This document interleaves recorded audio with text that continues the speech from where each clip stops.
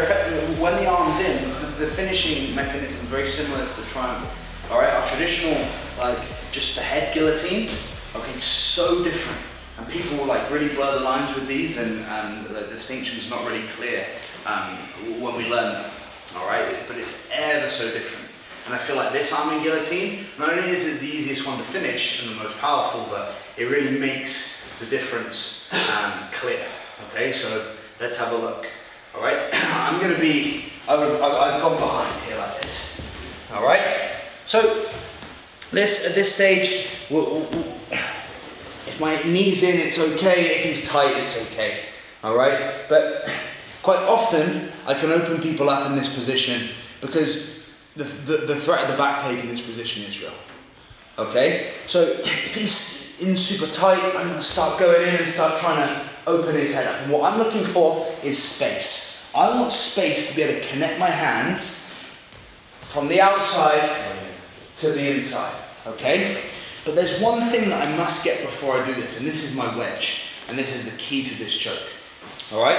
I must use a block, okay, this tricep here in the knee. So if my knee's in like this, okay, which it should be, all right, in this stage, if it's not, feel free, you're, you're okay here, you can really start like putting your knee in, and that's fine. Okay? Now I have, I can see space. When I can see space, that's good. So I want to do two things simultaneously.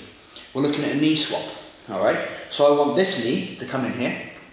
All right? And then it's my, uh, my hand connection. So let me just talk through the hand connection first. So if I was control, and if it was the hand that I would use to be punching in here, my outside hand, that's the hand that I want to go in by the ear.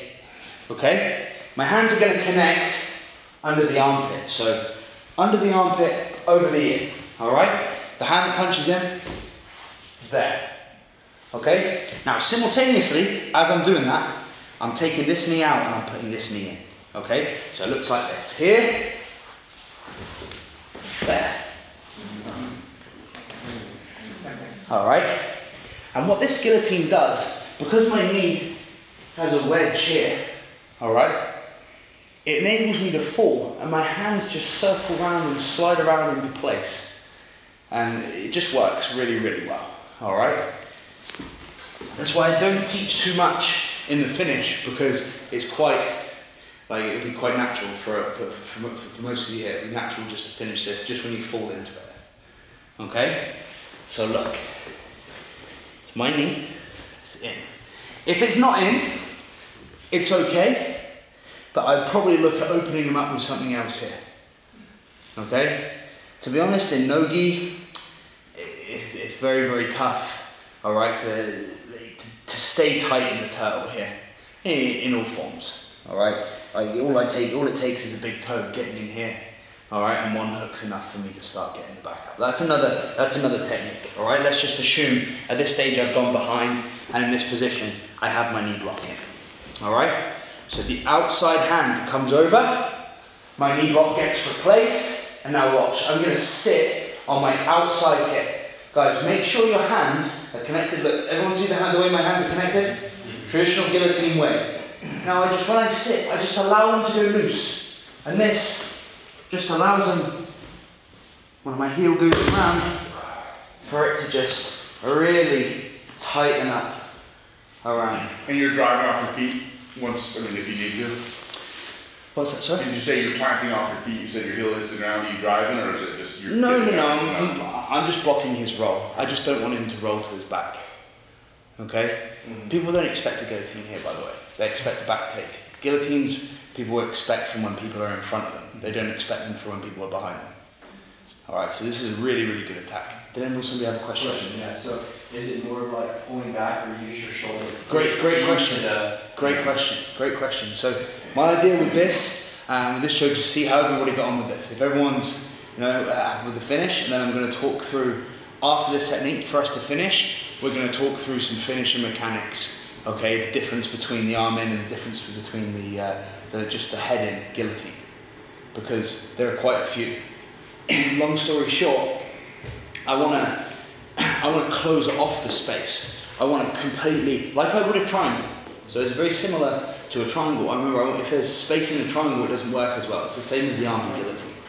All right? And if we end up leaning back like we would with a regular guillotine, it doesn't work. So you see my posture as I finish here, I'm sat up. I'm crunching forward into it. And that's very important. All right? If we end up leaning back, you're trying to squeeze, okay? We're not going to have any success with any arm in guillotine. All right? So yeah, great question by the way, because it's reminded me to mention it. So thank you. All right, so would you like to see this, Alex? Sure, absolutely. Yeah, okay. Just turn you around this way, brother. Okay. So, I'm gonna try to start no, that's inside. This is good. This is good. Here, are you right here? This one? Yeah. Yeah. Okay. Good. So here, it's the outside hand. The outside hand, the one that I would be striking with, is going to come in here. Okay. This knee gets the knee swap. So I go here, knee swap. There. Once my knee goes in, my hands relax. Look at my posture, guys. I'm sat right up here. All right. My hands are loose. They circle around that neck. And the reason why it gets tight is because of my knee. uh, Everyone, everyone can see that I've blocked off. I put a wedge in, and that enables his arms not to go in. If this wedge isn't here, by the way, now, sorry. Yeah, yeah, that, So say, say this wedge isn't here. All right. I can't. I don't have that. He can take his arm out, and there's a different arm in guillotine. Still finish it. All right. When this knee wedge is here, when I have this.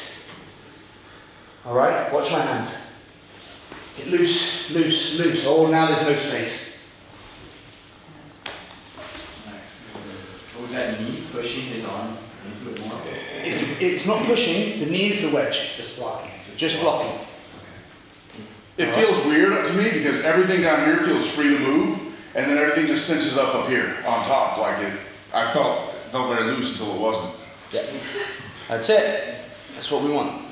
That's what we want. It's a real surprise. Yeah. It's coming from outside the arms. What's the other benefit? When people are hit, they, they, have, not, they have very little clue as to what you're doing. It's all feel. So if you don't feel anything before that knee goes in and those hands connect, it's often too late. All right, guys. Mm-hmm. Let's give it a try. Three, two, one.